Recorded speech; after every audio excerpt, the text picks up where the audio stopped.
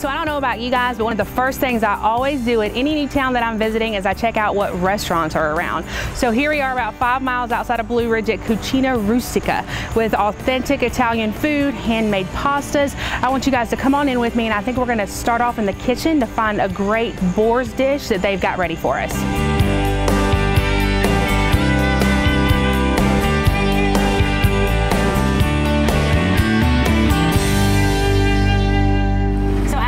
We're here back in the kitchen at Cucina Rustica and they're gonna be making some homemade pasta. How you doing today? I'm good.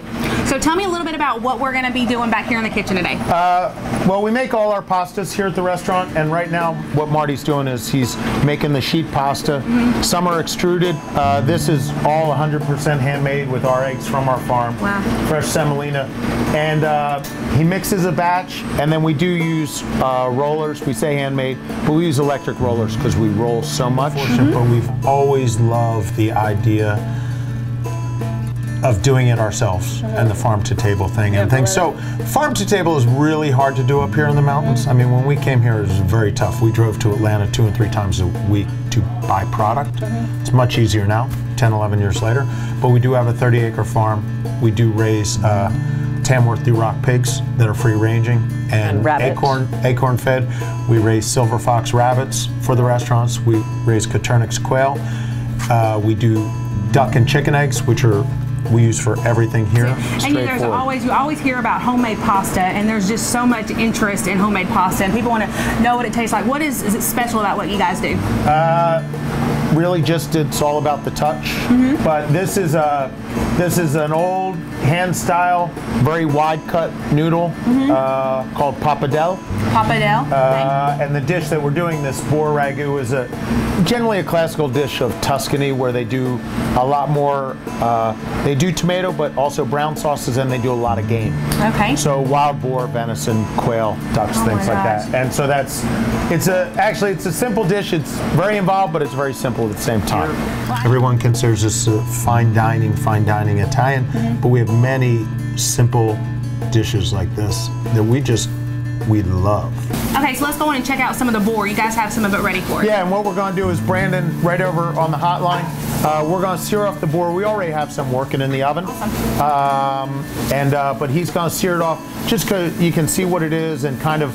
As I said, it's a very simple dish. It's just labor intensive. Over the course of two days of making it something, good.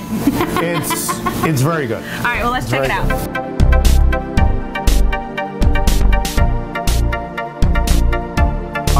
Restaurants that of we have, they all have these similarities. And when we got here, Michelle had this idea of the the similarities between Italy, Mediterranean, and the South. And there are grits and polenta, you know, uh, all those all those different things. Pulled pork, braised, slow roasted mm -hmm. meats that they do all over Italy and, and the Mediterranean. Uh, the use of peas, the use of herbs, wild onions, things like that. Even the making of grappa and moonshine. Wow. They're exactly the same thing.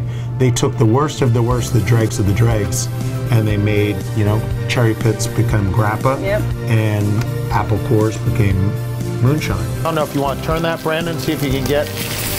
Uh, and then he'll sear this next side. And then when we pull it out of the oven the first time, it'll be nice and have a hard brown crust on it. That's the good part. And that's the, then everything except for the bone, all the skin, all the fat, every what fat doesn't melt away just gets chopped right up. We've been very fortunate here in a place that there was not very much, and now the accessibility from Asheville and Atlanta and yeah, there's a lot now. Chattanooga There's a really good Charleston. food scene here. And that's a lot what this whole Best of Blue Ridge is about. It's not, I mean, it's not just the food, but that, you know, Blue Ridge is not very far from where we're at. You know, we're on the south side of Atlanta, an hour and a half. It's, it took no time for us to get yeah. here, to stay the weekend, you know, and whenever you're up in Blue Ridge, you know, this is definitely a place to come to. We're going to let you guys know all the restaurants that they have, but it's excellent food, farm to table, um, and you guys really have a great family atmosphere yeah, and, here as and well. Blue Ridge itself has grown exponentially. Mm -hmm. We never in a million years would have thought you know, we are. This, We've got wineries. these two restaurants that we have great. here, our pizzeria and mm -hmm. here at Cucina Rustica out here, we are five miles outside of Blue Ridge, and we're full. And that's how, over the course of our 10 years, 11 years wow. here, Blue Ridge has expanded Um, we're in the same county, but we're in a different town. We're actually in Morganton. Everybody considers us Blue Ridge.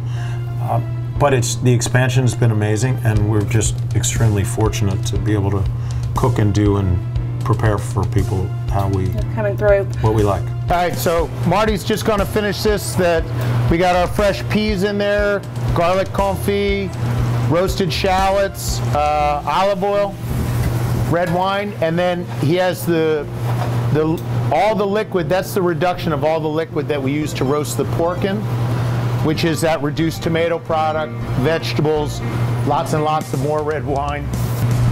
Fresh pasta you can see right there. boiling water, lots and lots of water. Whether you're doing dry or fresh pasta, people never use enough water. You need at least a gallon, you need a gallon of water per pound of pasta to give you an idea. As we said, this is a, a pretty simple dish, very quite traditional. Uh, and the, the things that we feel kind of set us apart are the little things that we do, like the time we take for the pasta, the time for roasting the pork, uh, fresh mint, which people would generally not think of. Oh, that's the dish. Fresh mint, crumbled Parmigiano Reggiano. Well, I'm definitely ready to taste this dish. Do you guys want to plate it for me real quick? Sure, no problem. We'll get that going in just a second. All right. So guys, I don't know about you, but after seeing all that cooking in the kitchen, I'm definitely excited to try out this dish. I mean, it looks fantastic. And even when you put the mint on top, like I've never thought of putting mint and pork and pasta together, so I'm excited to check it Yeah. out. I think that the pork looks good. I bet it's gonna taste good too. It's pretty good. Hmm. I love the pasta on that dish. Those ribbons just get me every time. It looks so good, and the pork, like you were saying, barbecue ready, and, and it's juicy. The flavor, I can just taste it. Like it's still the taste is still in my mouth even after I eat it. So it, it tastes fantastic. It's really good. The barbecue too. We do a barbecue mm-hmm. uh, at Harvest mm-hmm. on Main, one of our other restaurants, and so that nice tender barbecue there. So we have we do a lot of pork actually. We do- house-made we beef. actually- There's nothing wrong with pork. We, well, we do. We're in the south. yeah, you exactly. We are not a barbecue restaurant, uh, and we do pulled pork at Harvest. And I don't know exactly, but I'm going to say 400 pounds a week, and it is 16 Oh, wow. hours over hickory and oak. That's it. And it's really flavorful and it's got and even the herbs because i know you guys were picking fresh herbs literally behind the restaurant. You, you guys have herb gardens. And just in conversation you kind of mentioned a little bit about the other restaurants that you guys have. So you guys have this location but tell us a little bit about the other restaurants you have. We have Harvest on Main, which is actually where we started, and that's downtown in Blue. Ridge. Um, Southern American cuisine, uh, really approachable. And next door to that, in a really old, cool, historic building, the old tobacco building, we have the Fry Shop, and Okay. so they do breakfast and lunch. Uh, fried chicken sandwiches, chicken and waffles, There chicken and waffle BLT, which is one of my favorite. Meatloaf, oh my gosh i've never had chicken and waffles i've Oh, you'll never have had chicken and that waffles in my life cinnamon was like- buns on a stick. it's really fun. It is, yeah. It's a fun spot. And then next door to that is uh, on the track side Mm-hmm. is Masseria Kitchen and Bar. So we do a lot of craft cocktails there, pizza again, but more that kind of California Mediterranean style. Much more Mediterranean, a lot more salads, grains, fresh vegetables. So So there's a big do- variety. So there's Yeah, a big variety. So where did that come from? I mean, have you been cooking your whole life, both of you guys? I mean, and I've for there been- to be variety like that. I mean, Well, I was not come from? supposed to be cooking my whole life, but I ended up cooking my whole life. And um, and we've been we've been extremely fortunate, but we've always loved the idea of doing it ourselves. Food is like a expression of love and caring and all that kind of stuff. Everyone loves to get around a table and, and eat. And whenever you've got a good dish in front of you at a great restaurant with a great atmosphere. So I really appreciate you guys having We us out there. it. Yeah, we're actually going to go to Harvest, right? And Yep. have lunch. The crew's going to go there between shoots, but excited to try out some more of you guys' food. So thanks well, again. We appreciate it. Thank you very much. No Enjoy. problem.